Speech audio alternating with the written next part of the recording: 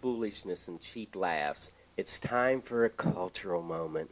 Here to perform the pledge to the Haitian flag is Denise. She understands the solemnity of the occasion and in a model of seriousness, allowing nothing to distract her from the privilege and honor of the event.